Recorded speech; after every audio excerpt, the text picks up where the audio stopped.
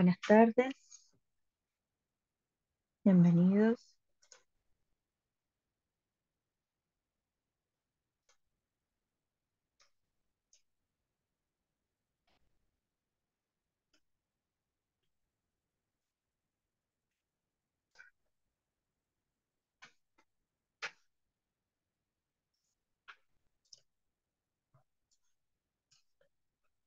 Bien, hoy vamos a ver la última parte algunos temas que nos quedan de esta segunda sesión y sobre todo vamos a ver eh, un par de temas más relacionados con lo que les voy a pedir como tercer trabajo práctico, que va a ser ah, por la sesión 2, el trabajo práctico. Y para ya ir terminando y ya ir cerrando con todos estos temas que hemos estado viendo sobre el diseño y la escritura de un proyecto de investigación. Así ya en las próximas sesiones nos abocamos a lo que son tanto la investigación cuantitativa como cualitativa. Para ir cerrando esta sesión, vamos a ver un poco algunas fases de la investigación. Sobre todo vamos a ver, en primer lugar, el estado del arte. Esta fase del estado del arte eh, es muy similar a lo que hemos estado viendo hasta ahora sobre esa fase exploratoria, sobre esos preesfuerzos, como planteaba de Sousa esos esfuerzos previos que son necesarios antes de armar un proyecto de investigación. Y es por eso que cuando termine la clase les voy a subir la consigna para el tercer trabajo práctico que va a tratar particularmente sobre esto, sobre realizar un estado del arte de algún tema de su interés. El estado del arte es una primera actividad de carácter investigativo y formativo para preguntarse de manera inicial qué se ha dicho y cómo se ha dicho en torno a un problema de investigación. Para armar el estado del arte, primero tenemos que tener una idea, algún tema que nos interese, alguna pregunta, alguna problemática que ya estemos formulando y la inquietud de preguntarnos qué se ha dicho previamente sobre este tema.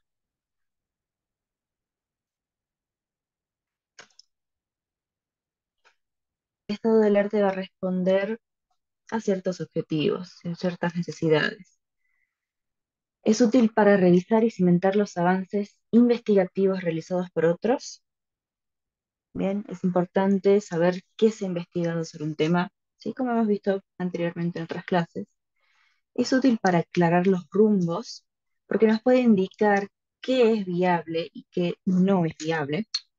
Nos sirve para contrastar enunciados provisionales, porque Recordemos que cuando elaboramos un problema de investigación, elaboramos un tema, elaboramos esa pregunta, generalmente también tenemos supuestos desde los cuales vamos a intentar ver si podemos comprobar o no. Entonces, este estado del arte nos sirve para contrastar estos enunciados provisionales para ver si quizás alguien lo respondió antes, porque es algo que puede ocurrir. Quizás nos hacemos una pregunta y nos damos con que alguien ya lo estudió, con que nuestro aporte no sería tan significativo.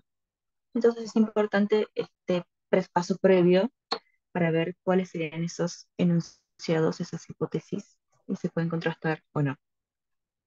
Y también responde la necesidad de explorar nuevas perspectivas de carácter inédito.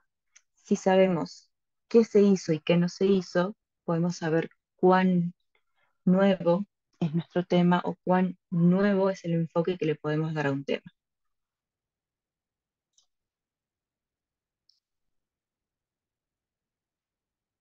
Para elaborar el estado del arte, yo también les voy a plantear que lo hagan tratando de responder estas cuatro preguntas. Así que su estado del arte, ya que el tema de interés particular que elijan, de responder estas cuatro preguntas. ¿Qué problemas se ha investigado? ¿Qué problemas se han investigado siempre dentro de esa misma área, dentro de ese mismo tema de interés? Podemos darnos con que se investigó algo muy similar o algo desde una perspectiva que no podemos abordar. ¿Cómo se habían definido esos problemas? Esto es importante porque tenemos que definir nuestro problema de investigación, tenemos que definir nuestra problemática, esa pregunta que queremos responder, y ver cómo alguien previamente, que vino antes que nosotros, definió esos problemas, y el definir, recordemos de clases anteriores, el definir implica limitar en espacio, limitar en tiempo, limitar y ordenar los objetivos, ver cómo alguien definió algo nos ayuda muchísimo a nosotros también saber cómo lo podemos definir mejor. También acá esto de cómo se ven definidos los problemas tiene que ver con, por ejemplo, qué conceptos se aplicaron, qué explicaciones se aplicaron también. La tercera pregunta, qué evidencias empíricas y metodológicas se habían utilizado. Es decir, qué datos se recolectaron, qué tipo de aproximación a los datos se empleó, ¿sí? En un cierto tema que elijamos, nos puede servir tanto una visión cualitativa como una visión cuantitativa, pero puede ser que nuestra recolección de datos sea distinta. Puede ser que eh, busquemos un tema que nos interese. Puede ser que nosotros, eh, como veíamos en el ejemplo de la clase anterior, decidamos que vamos a emplear una metodología más cuantitativa realizando encuestas. Pero puede ser que encontremos algún estudio previo en, en la misma área que haya empleado otra visión y que haya realizado, por ejemplo, entrevistas a actores claves o que haya realizado trabajos con grupos focales y eso también nos puede servir a nosotros para ayudarnos a ver qué tipo de información puedo trabajar, qué tipo de datos yo puedo buscar o no. Y la cuarta pregunta, ¿cuál es el producto de las investigaciones?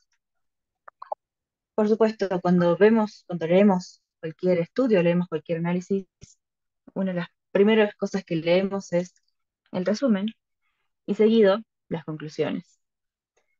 Nos interesa saber qué se logró alcanzar.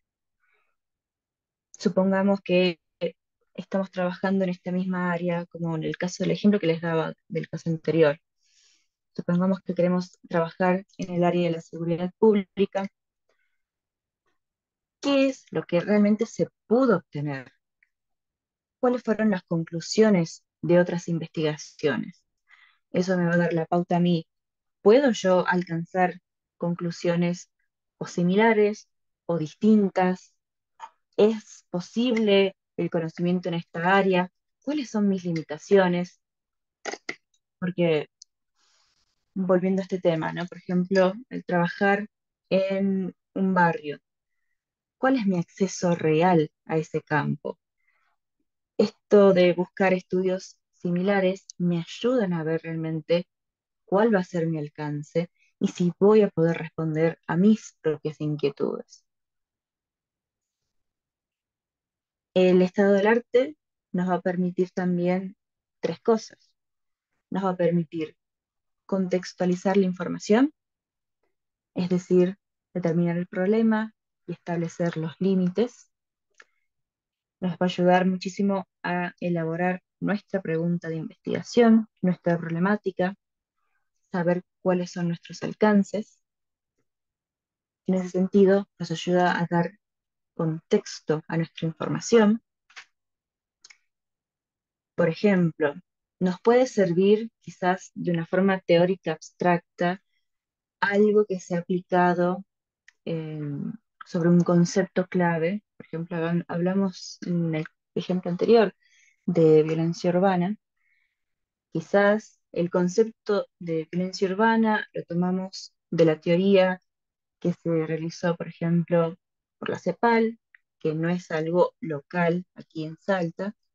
Bien, eso me sirve, es un concepto teórico abstracto que yo voy a tratar de llevar a mi práctica, llevar a mi campo, pero también necesito buscar qué se ha trabajado en mi región, qué se ha trabajado aquí en la ciudad de Salta, o qué se ha trabajado en la provincia de Salta o en la Argentina, para yo saber cómo es mi contexto, con qué me voy a encontrar, porque si bien podemos hacer esa aplicación de lo teórico de un concepto abstracto, lo podemos llevar a la praxis, a la práctica, necesitamos sí o sí tener un entendimiento de aquello a lo que vamos a encontrar. Nos permite también el estado del arte clasificar la información, es decir, el estado del arte tiene que ser un trabajo sistemático porque si no es como, eh, digamos, si no puede volverse algo como Alicia en el País de las Maravillas, que seguimos al conejo blanco y de repente nos vamos cada vez más por las ramas y se vuelve cada vez más amplio. Tenemos que hacerlo de forma sistemática, tenemos que clasificar qué nos sirve, qué es relevante en nuestro contexto, qué es relevante a nuestro marco teórico, qué es relevante a la recolección de datos. El estado del arte nos ayuda a hacer esta clasificación y al mismo tiempo tenemos que ir haciendo este ejercicio de clasificar, ¿sí? de analizar qué me sirve y qué no me sirve, para que al momento de armar el proyecto sea algo mucho más rápido y sencillo.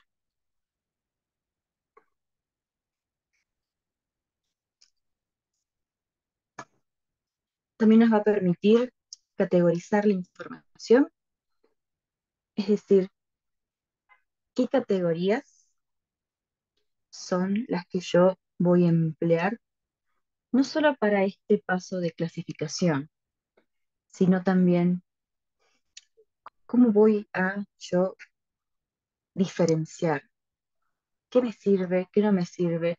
El mismo hecho yo de hablar de algo eh, a nivel local o algo a nivel regional. Bien, son categorías. ¿Qué defino yo como local? ¿Qué defino como regional?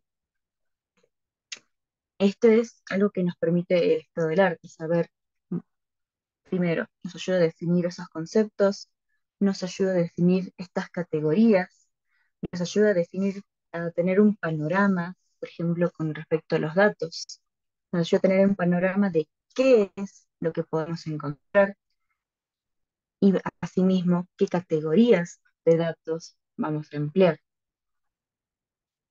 Todos estos tres pasos nos ayudan al momento de construir este llamado estado del arte o estado de las cosas también.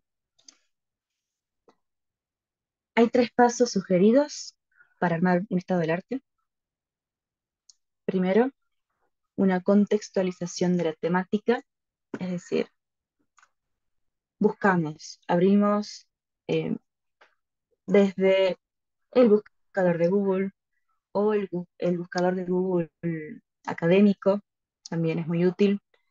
Podemos consultar bibliotecas digitales o bibliotecas físicas. Y vamos a pensar, ¿sí? Y a medida que vamos a ir investigando qué se hizo antes, vamos a ir clasificando y dándole contexto a nuestra temática. Esto es, como les digo, para no perderse, para no irse por las ramas, porque puede suceder. A veces nos interesa tanto un tema que terminamos ampliando tanto nuestro nuestro, nuestra categoría de cosas que queremos saber, pero no es posible. Nunca va a ser posible conocer absolutamente todo de un tema. Entonces tenemos que saber delimitarlo. Y también tenemos que saber poner un límite a lo que podemos investigar sobre algo. Es importante, a medida que hacemos este estado del arte, ir clasificando qué tipo de textos tenemos, qué tipo de autores, ¿sí? Tipos de texto, Nos puede servir como estado del arte tanto un texto académico, ¿sí? O, por ejemplo, puede estar incluido un texto que eh, sea académico, pero sea de orden más formativo, como eh, un manual sobre investigación, ¿sí? Algo que nos ayude a las herramientas eh, metodológicas, por ejemplo, o también textos de autores que investigaron ese tema en específico. Tenemos que ir clasificando qué autores, por ejemplo, eh, si trabajamos algo, eh, quizás algo que tenga que ver con eventos o con hechos, es importante, por ejemplo, consultar los medios periodísticos que dijeron al respecto de este hecho. Entonces tenemos que saber diferenciar, que no es lo mismo, por supuesto, un texto periodístico que un texto académico, pero también es importante, sobre todo para el caso en que analizamos hechos o cómo se abordaron ciertos hechos, tener este otro tipo de fuentes. Y asimismo tenemos que clasificar los autores, las metodologías que emplean. Volviendo a este ejemplo que dábamos, a veces un autor puede tener una metodología que no es la misma que vamos a aplicar, pero nos sirve como referencia. Todos aquellos marcos de referencia conceptual de las diversas investigaciones, es decir, esto no conceptual, qué conceptos vamos armando, qué mapas mentales nos sirven para interpretar lo que yo quiero investigar. Una vez que vamos contextualizando esta temática, que vamos clasificando, tenemos que establecer propiamente esa clasificación y analizar y decir, bueno, esto me sirve, esto no me sirve. Bajo este contexto de mi temática, clasifico qué tipos de trabajos he consultado y empiezo a analizar, ¿sí? En qué se parecen, en qué divergen, qué conceptos usan en común, qué metodologías usan en común, a qué conclusiones llegan, sobre todo cuando estoy clasificando estos eh, aspectos académicos. Pero también cualquier información que yo quiera sobre un cierto tema que me parezca relevante, por qué me parece relevante, y también esto, ¿no? ¿Qué conceptos usa? ¿Qué metodologías usa? ¿Y a qué conclusiones llega? Y finalmente un tercer paso es categorizar los trabajos. Es una clasificación un poco más metódica, ¿sí? valorando las categorías internas que hemos establecido en cada uno de los textos y saber qué aporte es el que ofrecen a esta temática que a mí me interesa. el estado del arte es un trabajo que no es simplemente eh, mencionar y citar, sino decir, bueno, esto me sirve por esto. Eh, cuando redactamos un estado del arte, no simplemente mencionamos, bueno, eh, usé el autor tal, el autor tal otro, sino que decimos, es un breve resumen, ¿no? Y esto también nos sirve esta categorización de los trabajos. Es decir, en el estudio tanto, del autor tanto, se analiza esto de tal forma, lo cual me sirve a los fines de mi problemática porque tanto y tanto. Entonces, esa categorización es importante para que yo pueda establecer qué me aporta cada uno. De ahí en más, puedo yo tener en mis referencias, puedo yo en mis referencias incluir que consulté 100 textos, por así decir. Puedo tener mis referencias 100 textos distintos que consulté, pero en mi estado del arte mencionar trabajos previos de, por, así decirlo, de cinco.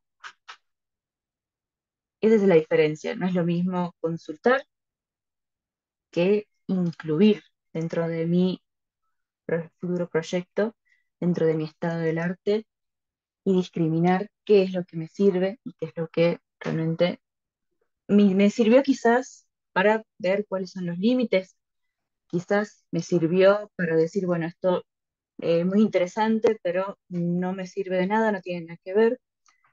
En mi estado del arte voy a incluir aquello que realmente me haya dado alguna herramienta, alguna forma de delimitar mi trabajo, alguna forma de contrastar mi pregunta, ¿sí?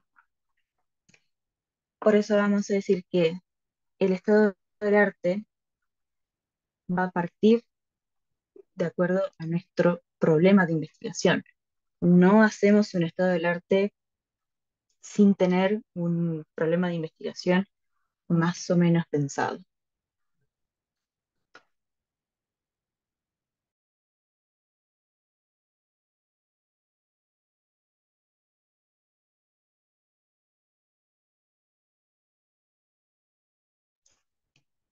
Con respecto al problema de investigación, también es importante que tengan esto en mente. Estuvimos hablándolo, sabemos que es aquello que se desea explicar y que su finalidad es brindar una solución, es decir, resolver un problema. Por eso lo llamamos problema de investigación o problemática de investigación. Aquello que es un problema es algo que queremos solucionar. ¿Cómo?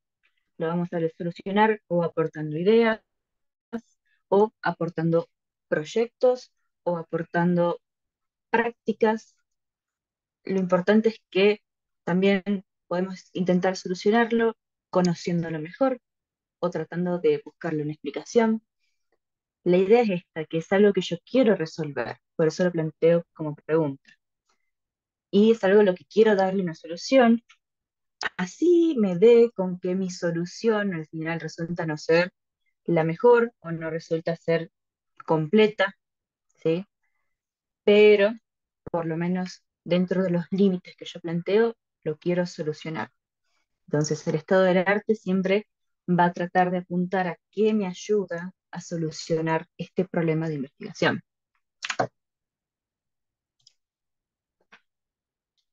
Para cuando formulen un problema de investigación, tengan en cuenta estas características.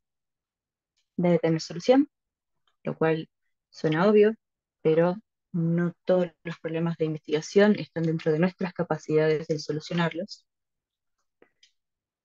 El problema planteado debe ser expresado con claridad y precisión, ¿sí? No, algo que traten de que no tengan ambigüedades, que cuando yo planteo un problema de investigación, el que me lea pueda entender cuál es mi pregunta, desconociendo absolutamente todo sobre el tema.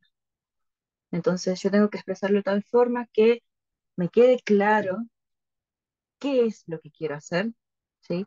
Y que sea preciso. El problema científico se ocupa de hechos, es decir, si estamos en investigación científica, en investigación científica y social, sobre todo, vamos a trabajar con hechos. No vamos a trabajar con ideas solamente abstractas. Porque la investigación es tratar de hacer ese puente entre lo teórico y lo práctico. Si yo me quedo solamente en lo teórico, bueno, quizás pueda hacer un buen ensayo al respecto, pero no estoy planteando realmente una investigación, un problema de investigación. Si yo planteo, volviendo al tema de la clase pasada, si yo planteo, bueno, mi pregunta de investigación va a ser, ¿qué es la violencia? suena filosófico, suena algo que realmente no lo, no lo estoy pensando en cómo lo observo, lo estoy pensando como algo abstracto, como el concepto abstracto de la violencia. Eso no es una investigación científica. ¿Es una pregunta válida? Sí, por supuesto. Quizás para la filosofía, pero nosotros vamos a investigar basados en hechos siempre. Los problemas deben ser capaces de ser observados empíricamente, ¿sí? Esto está relacionado con lo anterior. Se ocupa de hechos, entonces tengo que tener algo que yo pueda observar.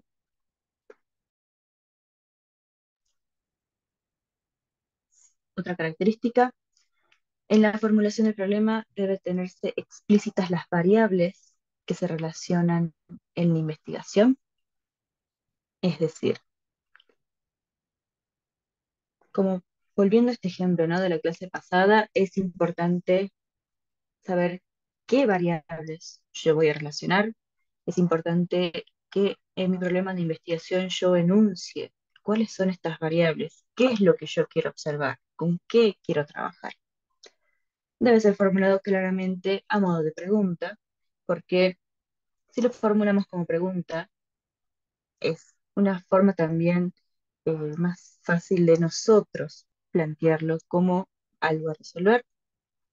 Y el planteamiento del problema implica la posibilidad de prueba empírica de poder observarse en la realidad.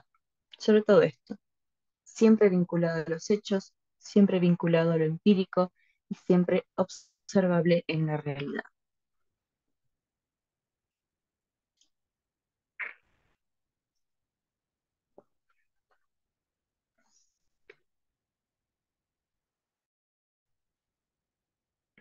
Yo les voy a pedir, como trabajo práctico número 3, que me vinculen estas dos características, ¿sí? Un buen problema de investigación y el estado del arte de ese buen problema de investigación. Y la tercera característica que quiero que veamos un poquito más, para que no queden dudas, es con respecto al marco teórico. Ya estuvimos viendo un poco en clases anteriores, pero tenemos que pensar que el marco teórico va a ser una articulación entre la teoría, los objetivos y la metodología. Cuando construyen un marco de investigación, van a tener que construir también ese marco teórico.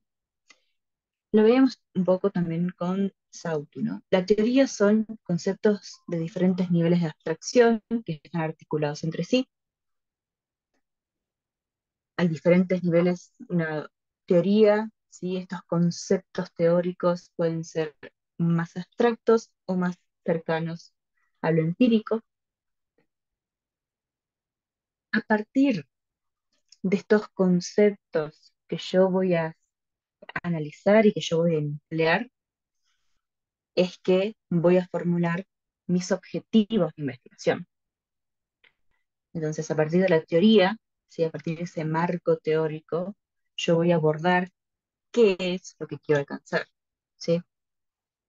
Los objetivos que se construyen con, generalmente se, se los enuncia como conocer tal cosa, comprender tal tema, todo parte desde la visión que me da mi marco teórico, mi teoría. Y a su vez, mi marco teórico, así como los objetivos, como aquello que yo quiero alcanzar, van a influir en la metodología que yo elija. La metodología va a estar conformada por procedimientos o métodos para la construcción de la evidencia empírica. Y con respecto a la teoría, ¿sí? al marco teórico, nuestro marco teórico puede comprender tres niveles, desde lo más abstracto hasta lo más cercano a la realidad.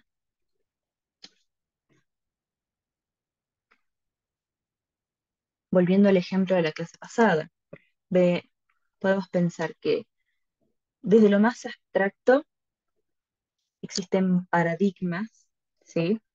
que son conceptos teóricos y metodológicos que el investigador asume como un sistema de creencias básicas que determinan el modo de mirar la realidad. Es decir, no sé si recuerdan, pero en un momento, por ejemplo, eh, por ejemplo, de Sousa Minayo habla de esta diferencia entre, por ejemplo, un paradigma positivista y un paradigma eh, de aquellos que hablan de lo simbólico, el simbolismo. Eh, el paradigma positivista va a apuntar siempre a buscar datos objetivos, ¿sí? Entonces va a privilegiar datos que se vayan acorde a esa visión, donde lo que prima es datos que yo pueda eh, cuantificar. Entonces, desde una visión positivista, yo voy a buscar metodológicamente datos que me sirvan y que sean cuantificables. Pero quizás desde una perspectiva, desde un paradigma que sea más eh, del simbolismo, del construccionismo, yo voy a valorar más las subjetividades.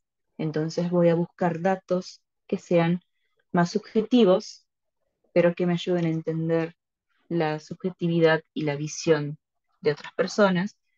Y voy a trabajar con datos, por ejemplo, eh, que contemplen esa subjetividad como ser una entrevista en profundidad o una historia de vida.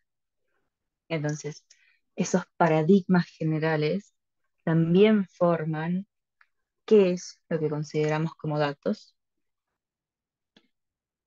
Y los paradigmas, como decía Kuhn, los paradigmas suelen pasar como, como modas, digamos.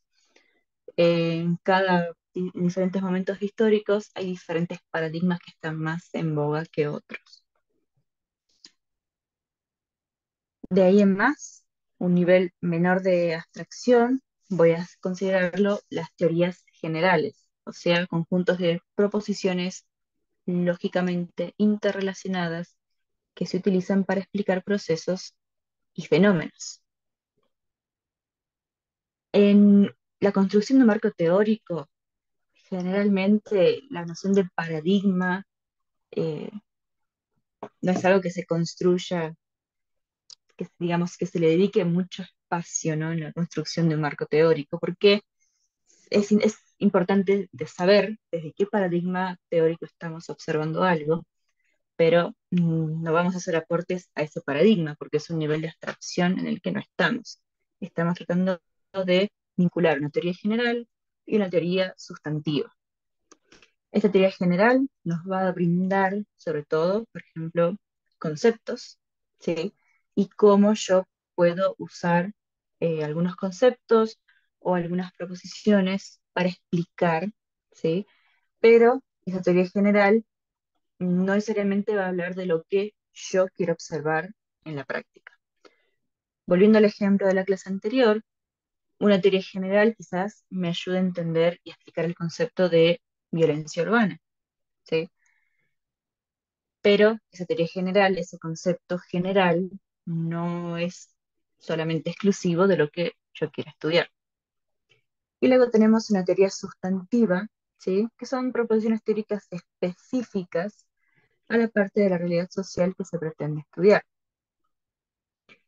Eh, por ejemplo, yo quiero hacer ese vínculo entre una teoría general y una teoría sustantiva, ¿sí? Yo puedo decir, bueno, en mi tema de interés, siguiendo este mismo ejemplo que usábamos la clase pasada, yo lo voy a ver desde una visión de la seguridad pública. Entonces voy a buscar teorías que expliquen desde esa visión. Entonces ahí estoy vinculando una visión un poco más específica, una forma de aproximarme a los hechos, con una teoría general, con conceptos que no solamente los voy a usar dentro de ese ámbito, sino que los pueden usar en otras disciplinas.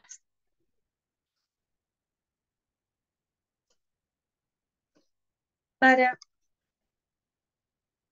eh, ejemplificar un poco más esto, este vínculo entre teoría general, sustantiva, irregular y lo empírico también. Este cuadro lo he tomado de Sautu, del manual de Sautu. Y lo que este cuadro nos muestra es cómo se puede vincular lo que es algo empírico, ¿sí? algo que se puede observar empíricamente, con una teoría sustantiva y con una teoría general. Vamos desde abajo. Como regularidad empírica, yo puedo observar que en cierta población, a mayor educación, hay mayor participación económica femenina. Es una regularidad empírica, algo que yo puedo observar que ocurre empíricamente. Ahora, cómo lo vinculo yo con un marco teórico. Desde las teorías sustantivas, es decir, aquellas teorías más cercanas a esta eh, observación empírica, puedo decir que hay teorías y puedo buscar que hay teorías en las cuales se analiza el ciclo de vida familiar y cómo los ingresos y gastos afectan a la vida de las mujeres y sus disposiciones de salir a buscar trabajo. Puedo analizar teorías donde el papel de, se ve el papel de la educación en general, quienes tienen mayores oportunidades de estudiar, eh, cuál es el vínculo entre educación y la edad de casarse, el número de hijos, si el hecho de trabajar afecta la edad de casarse y el número de hijos que se tendrá. Son dos teorías que vinculan esto que yo quiero observar y que van, son mucho más sustantivas. Van a estas, cuán general podemos observar estas cosas. Y un nivel mayor de abstracción serían estas las teorías generales. Estas teorías generales más abstractas serían aquellas, por ejemplo, que sostienen que la educación modifica los modos de verse a sí mismo, que refuerzan positivamente la autoimagen y potencian la autorrealización, y salir a trabajar y controlar el número de hijos sería consecuencia de una diferente conceptualización que las mujeres hacen de sí mismas. Esta es una teoría mucho más general. O también la teoría del costo-oportunidad se utiliza en los análisis de la participación económica femenina y compara los costos-beneficios de quedarse en el hogar o de salir a trabajar por un salario. La diferencia está en que esta teoría general, a partir de esto empírico que yo estoy observando, no necesariamente lo voy a comprobar. Mi teoría general me va a servir para orientar mis explicaciones, pero con lo que yo observe no voy a poder comprobar si es así o no. A mayor nivel de abstracción también necesitaría mayor cantidad de datos, mayor cantidad de análisis. Es un nivel mucho más abstracto que no necesariamente voy a poder establecer un vínculo más directo entre lo que yo estoy observando. Me sirve para orientar, por eso es importante pensar en la teoría general, pero no va a haber un vínculo tan directo con mis datos como en el caso de la teoría sustantiva. Las teorías sustantivas sí van a estar mucho más cercanas a aquello que yo estoy observando, ¿sí? Y en este caso sí puede ser que con las observaciones suficientes, con las observaciones y las relaciones pertinentes, yo pueda acercarme a ver si realmente es así o no esta teoría sustantiva que estoy planteando. Entonces, mientras más alejado estamos de las regularidades empíricas, más difícil va a ser ese nexo, pero no significa que no nos sea útil, no significa que no nos ayude a darle precisamente ese marco que necesitamos de conceptos de definiciones y de relaciones a nuestro tema que queramos investigar.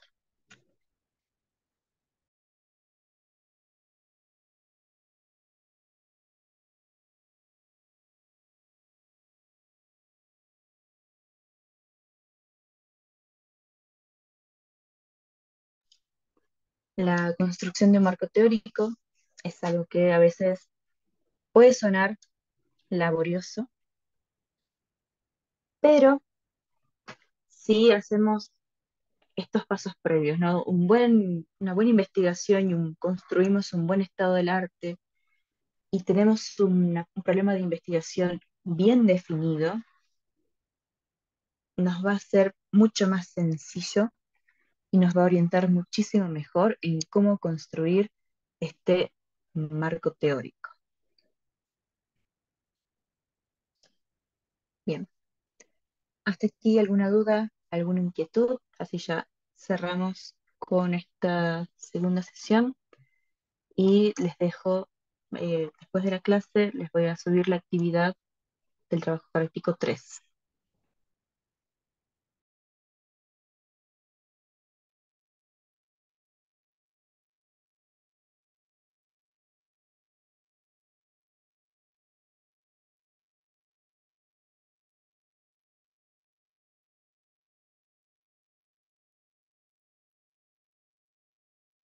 Bueno, eh, licenciada, parece que no hay ninguna consulta de parte de los estudiantes. Bien, Mm, Si le parece, vamos cerrando.